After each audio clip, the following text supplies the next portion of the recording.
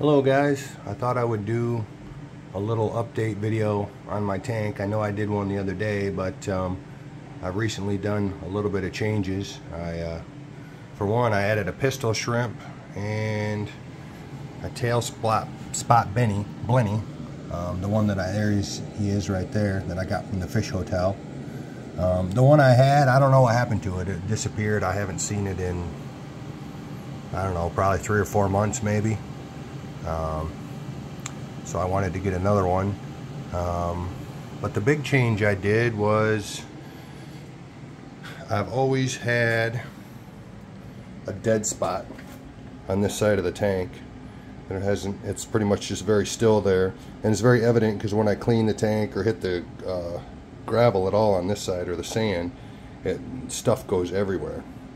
And the reason being is the way my tank is set up, I couldn't really get flow there without blasting everything.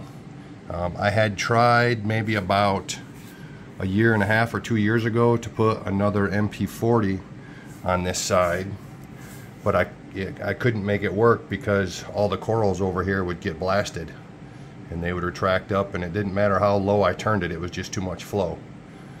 So I decided to put one of the 4D Aquatics movable nozzles on it like I have on the other side. You can see it there. And what that allowed me to do was aim the flow up and towards the glass.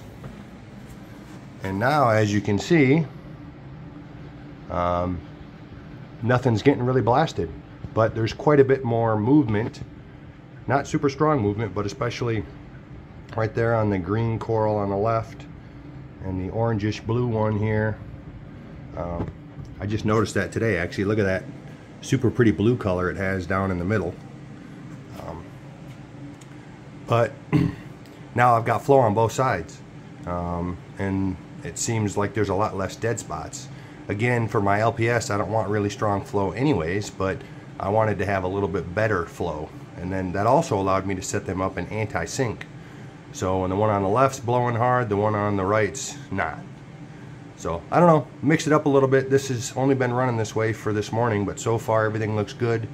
And uh, I'll just keep a close eye on it.